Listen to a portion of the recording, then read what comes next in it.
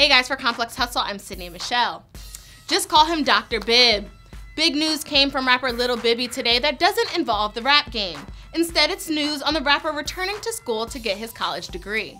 The rapper revealed the news to fans on Instagram yesterday, saying, Man, I'm going to school for computer engineering.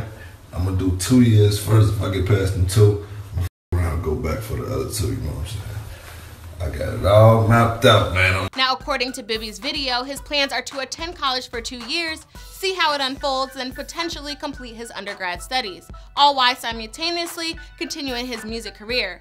The rapper also claimed that college was always in the back of his mind as he was offered numerous scholarships for basketball. He also said, You'll have to call me Dr. Bib in the future. I got another college trying to give me a full basketball scholarship, but I know I'm washed up. As Bibby says, his college ball career may be there and gone, so majoring in computer science may turn out to be a good idea. As according to Business Insider, an average computer science engineer makes over $100,000 in Silicon Valley.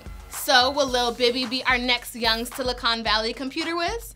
That's yet to be seen, but for now, the former Double XL freshman's next move is to drop his long-awaited FC3 The Epilogue album, which drops on November 18th. For more stories like this, subscribe to Complex Hustle on YouTube and stay tuned for more entrepreneurial news.